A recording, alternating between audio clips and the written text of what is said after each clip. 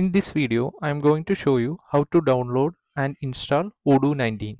For downloading Odoo, open the web browser and search download Odoo 19. In this video description, I have attached the direct download link. Here we need to enter the details. Then here you can press the download button. Here I am using Windows version for downloading and installing. Here you are able to see two type of Odoo versions. One is enterprise, another one is community version. Here I am using community edition, the commercial required license.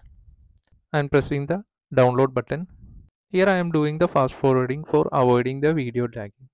Once after downloading, we can start the installation. Before starting the installation, you are having disk space and internet. Here I am starting the installation with run as administrator.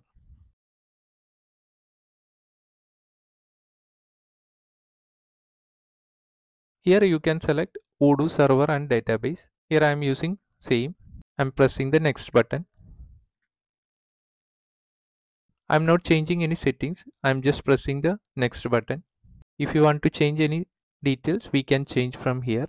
I am not changing any settings. I am just pressing the next button.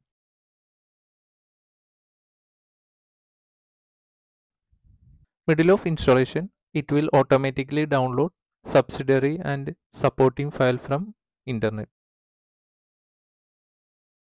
Now our Odoo installation has been finished. I am pressing the finish button. The Odoo will start automatically in web browser. Here we can enter the details including the database name, username and password. Don't forget the database password. This database password we are using for managing the database, backup and restore. Now our latest version of Odoo installation has been completed. Here you can install the modules. Here you are able to see multiple modules. If you want to install or activate that module, you can do that.